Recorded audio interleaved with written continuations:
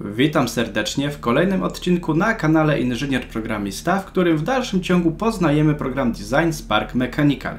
I od razu przechodząc do konkretów odpowiem na pytanie, jak włączyć relacje w szkicu, chociaż na pierwszy rzut oka tych relacji tutaj nie mamy. Zobaczcie, że w momencie, gdy przejdziemy do trybu szkicowania, wybierzemy sobie dowolną płaszczyznę, niech tu będzie jakaś na samym e, dole i spróbujemy sobie na przykład e, w sposób taki beztroski, że tak powiem, e, spróbować opisać teraz trójkąt na tym okręgu, który sobie tutaj wymyśliliśmy w taki sposób, żeby teraz dopiero pogodzić te na przykład odcinki, które tutaj mamy, no to się okaże, że za bardzo nie jesteśmy w stanie tego zrobić. Musielibyśmy od samego początku tak budować naszą geometrię, aby było to możliwe. Natomiast odpowiemy sobie na pytanie, czy w przypadku tego programu jakby tworzenie tych relacji też ma e, jakiś sens i porównamy to z przedstawicielem sekwencyjnego przykładu programu, jakim jest Alibre Design, analogicznie jak na przykład program SolidWorks, czy też e, Inventor, czy nawet FreeCAD. Więc e, żeby teraz móc korzystać z relacji w programie Design Spark Mechanical, musimy przejść do ustawień programu za pomocą takiego przycisku jak opcja programu Design Spark. I e, mamy tutaj taką zakładkę zaawansowane, którą już odwiedzaliśmy w poprzednim odcinku. I pomimo tego, że program jest przetłumaczony na język polski, to jednak figuruje tu jedna e, opcja, jedna właściwość, która pozostała nieprzetłumaczona i brzmi ona następująco Enable Constraint Based Sketching. Czyli mniej więcej chodzi o to właśnie, aby włączyć tryb e, tworzenia szkicu w oparciu o wiązania, w oparciu o relacje, z czym e, stykamy się w przypadku innych oprogramowań kadowskich właśnie reprezentujących głównie sekwencyjny tryb jakby modelowania. E, ok, musimy teraz to zaakceptować i program prosi nas e, o to, abyśmy go zrestartowali. Wynika to z tego, że w związku z włączeniem tej funkcji nastąpi również nieco przebudowanie wstążki z narzędziami, którą tutaj obserwujemy. Więc klikamy sobie przycisk OK. Na razie jeszcze żadna zmiana nie została wprowadzona. Musimy zamknąć program. Powiedzmy, że zapiszemy sobie tutaj nasz E, nasz plik i przejdziemy ponownie do uruchomienia programu Design Spark Mechanical, a na końcu po tym konkrecie, o którym teraz opowiadam, e, troszeczkę jeżeli tutaj zajrzała jakaś osoba, która jest początkująca w CADzie, a przypadkowo na przykład znalazła mój film, to wytłumaczę po co te relacje są takie ważne, że nawet w takim przypadku, w takim programie jak Design Spark Mechanical zwracam na to uwagę. Więc teraz otworzymy sobie ponownie ten plik, który mieliśmy początkowo tutaj z naszym trójkątem i zobaczcie, że już teraz widzimy, że nieco ta wstążka się zmieniła, że już nie widzimy bezpośrednio narzędzi związanych z tworzeniem szkicu, ponieważ one nam weszły pod oddzielną zakładkę, która właśnie już teraz zawiera więzy, których, e, których poszukiwaliśmy. Więc możemy oczywiście w projekcie przejść sobie do trybu szkicu, kliknąć sobie tutaj na tej płaszczyźnie, gdzie mamy ten nasz trójkąt, no i teraz widzimy, że sam szkic nieco inaczej wygląda. Widzimy, że te wszystkie nasze odcinki, które mamy się porozjeżdżały, ale w związku z tym, że mamy do dyspozycji relacje, możemy teraz nad tym szkicem zapanować tak dokładnie, jak to robimy w innych oprogramowaniach kadowskich.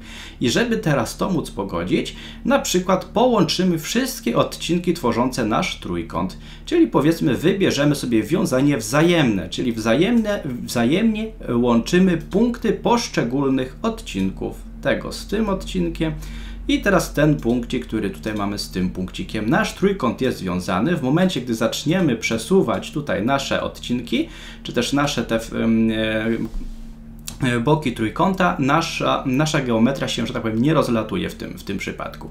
I teraz, gdybyśmy na przykład chcieli e, jakoś nawiązać na przykład do układów e, współrzędnych tutaj, no to powiedzmy, że przesuniemy sobie całą tą naszą geometrię, ale powiedzmy, że na przykład chcemy, aby podstawa tego trójkąta była równoległa do osi, w tym przypadku osi x. Więc tutaj również mamy takie, taką relację jak wiązanie równoległe i chcemy, żeby ta nasza podstawa trójkąta była równoległa do naszej osi. Dzięki temu tutaj już ona nie będzie nam się w tym przypadku kosiła.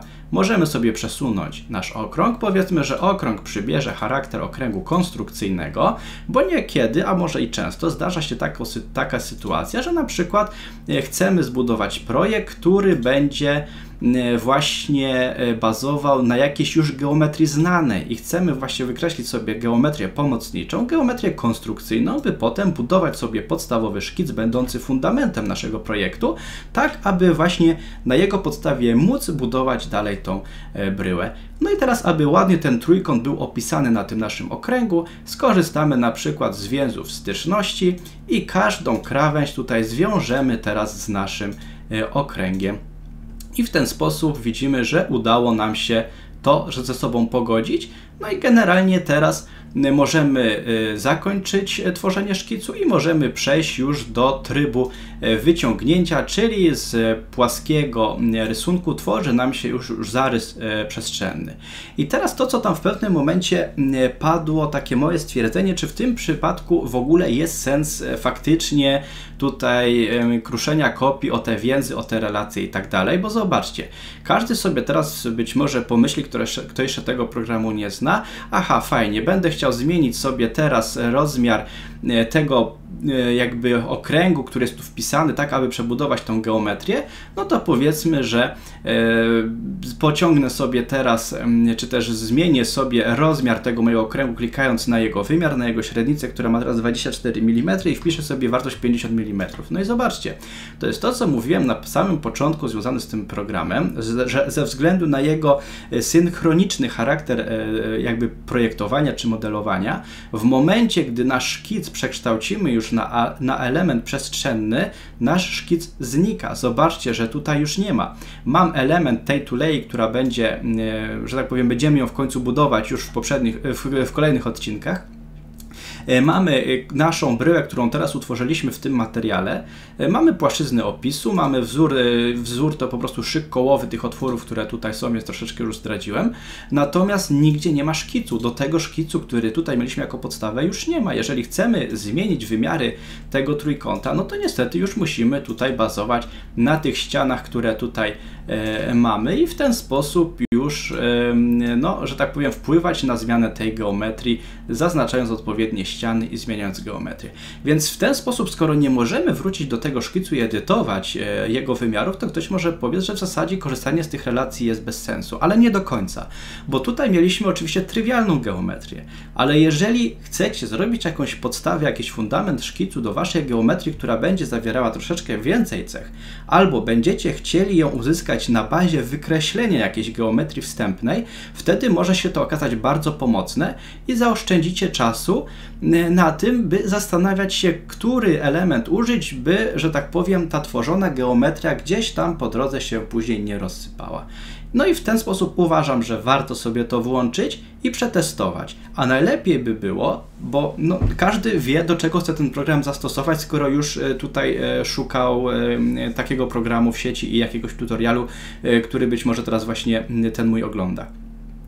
Więc najlepiej by było, że jeżeli, drogi widzu, mniej więcej wiesz, co chcesz wykonać w tym e, programie, spróbuj na początku jakby nauki tego programu e, taką geometrię narysować w sposób zwykły, standardowy, bez użycia trybu z uwzględnieniem relacji, a potem włącz ten tryb relacji i spróbuj ten, tą samą geometrię naszkicować za pomocą relacji i po prostu sprawdź i na własnym, że tak powiem, przykładzie, na własnej potrzebie jakby sprawdź, czy, czy to jest korzystniejsze, czy to jest wygodniejsze.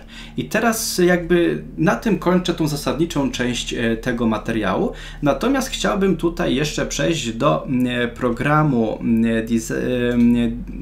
Alibre Design w związku z tym, aby ewentualnie początkującym osobom wytłumaczyć, e, po co są te relacje potrzebne na przykładzie właśnie takiego programu w którym modelujemy w sposób sekwencyjny, czyli mamy drzewo operacji i każda główna operacja zależna od szkicu posiada odnośnik do swojego szkicu, także nawet jeżeli już mamy wykształconą geometrię, możemy wrócić do szkicu, możemy go edytować. I teraz tak, w momencie tworzenia szkiców w dowolnym programie kadowskim dążymy do tego, by uzyskać jednoznacznie zdefiniowany szkic. Taki szkic, który w momencie, gdy złapiemy myszą w dowolnym jego punkcie, nie jesteśmy w stanie zmienić jego położenia i jego wymiarów.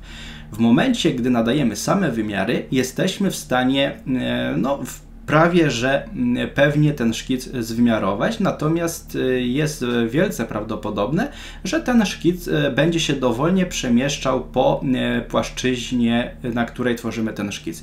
Jest to niezalecane, ponieważ w momencie, gdy będziemy wprowadzać jakieś zmiany, w pewnym momencie po prostu stracimy nad tym kontrolę i będziemy mieli błędy w przebudowie modelu. Oczywiście w przypadku prostych detali nie będzie to następowało, natomiast im geometrie będą bardziej skomplikowane, tym te problemy będą się pogłębiać.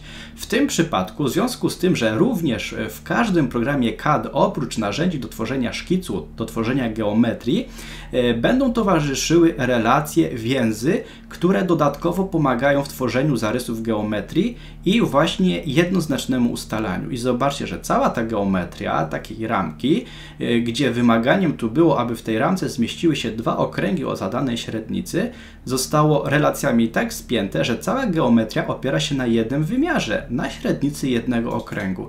I gdybym chciał zmienić teraz wymiary tej geometrii, wystarczy, że zmienię średnicę jednego okręgu, nastąpi automatyczne przebudowanie szkicu, wychodzę ze szkicu i model brył jest przebudowany. I analogicznie Gdybym chciał sobie stworzyć teraz podobną sytuację, jak mieliśmy e, w Design Sparku, czyli chcemy opisać na jakimś okręgu sobie trójkąt, no to powiedzmy, rysuję sobie wstępnie okrąg, nawet ten okrąg konstrukcyjny, jak to było e, przyjęte w ten, w ten sposób. Powiedzmy, że ja go sobie tutaj na chwilę obecną e, zwiążę z osią X i unieruchomię go sobie tutaj w miejscu za pomocą takiej kłódki, żeby on już swojej pozycji nie zmieniał. Więc w ten sposób widzicie, że ta relacja zapobiega przemieszczaniu mi się tego okręgu na płaszczyźnie. Oczywiście, ponieważ mam tu już w zerze jeden szkic, to ten traktuję jako e, taki teraz tylko e, prawda, pokazowy. Natomiast też pamiętajmy o tym, by początek szkicu opierać o początek układów współrzędnych. Jest to również bardzo e, istotne i pomocne w niektórych sytuacjach. I teraz, jeżeli chcemy określić na przykład średnicę tego okręgu, no to powiedzmy, że zadamy tutaj sobie średnicę, niech będzie na równo jakieś 60 mm i podobnie możemy sobie dowolnie te odcinki tutaj tego naszego trójkąta, że tak powiem, położyć i patrzymy co się dzieje, w jaki sposób ten szkic nam się porusza. I wystarczy, że za pomocą właśnie tych relacji będziemy po kolei te elementy tego naszego trójkąta tutaj ustalać, podobnie jak to robiliśmy w tamtym przypadku, niech będzie równolegle teraz ta podstawa, tak jak to było w tamtym przypadku. Powiedzmy, że na przykład damy sobie relację, że te dwa odcinki mają być ze sobą równe i następnie zadbamy o styczność e, tych poszczególnych elementów, które tutaj e, widzimy, razem z podstawą i w tym momencie, teraz tutaj nam się jeszcze porusza ten element, no to niech będzie, że e, chcemy mieć trójkąt równoboczny, więc dajemy jeszcze jedną relację i widzimy, że nasz szkic jest w pełni zdefiniowany, w pełni związany za pomocą tak naprawdę jednego wymiaru. I jeżeli chcemy taką mieć geometrię opisaną na okręgu, oczywiście to jest bardzo prosty przykład, ale generalnie analogicznie to wygląda w przypadku trudniejszych geometrii. Wychodzimy ze szkicu, no i mamy już od razu gotowy model. Także na tym e, polega dbanie o relacje, na tym polega dbanie o e, wzajemne mm, usytuowanie szkiców na płaszczyźnie, na której tworzymy sobie zarys, właśnie po to, aby nam było łatwiej na później w przypadku przebudowy. W przypadku właśnie takich e, sekwencyjnych programów jak, jak Alibre Design, jak SolidWorks, jak Inventor jest to istotne, ponieważ w ten sposób wracamy do tego szkicu w dowolnym etapie tworzenia naszego projektu i wprowadzamy zmiany.